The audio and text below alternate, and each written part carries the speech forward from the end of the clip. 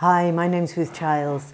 Some of you probably already know me because of the very successful work that I've been doing in curing focal dystonia.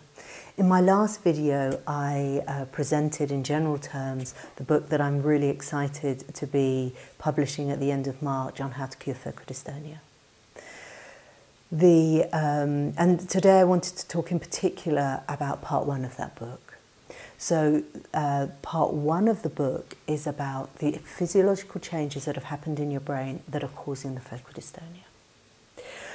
But it may surprise you that they're not physiological changes to do with um, the motor movement part of the brain. They're actually uh, physiological changes that have put your nervous system into survival mode.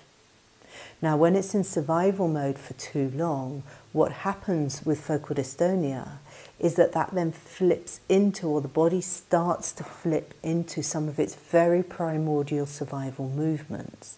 And they're automated movements, we can't control them.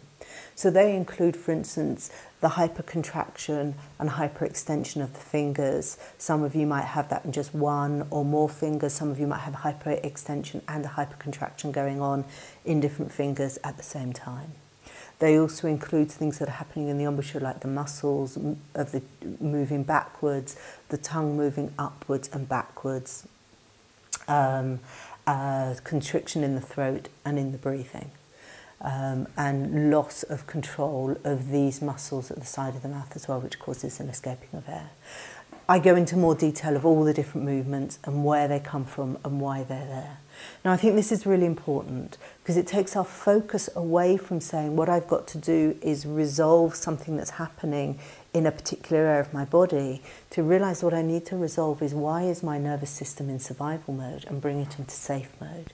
And as we do that, then the body doesn't need to do these primordial survival movements any longer. So those are the details that I go into in the first part of the book. Now, just to give you an overview and a context, in the second part of the book, I then, I then describe to you so why you know what why has your nervous system gone into survival mode so that you get the context of what we need to work on And then in the third part of the book, um, why is, you know, good enough to know, but we need to know how to resolve it as well. So in the third part of the book, I work, walk you through the very practical neuroplasticity exercises that, that enables you to resolve those changes in your brain, bring your nervous system into safe mode, and at the same time release these survival movements in your body. So um, I'm so delighted to be publishing this book and I really, really hope that it serves you.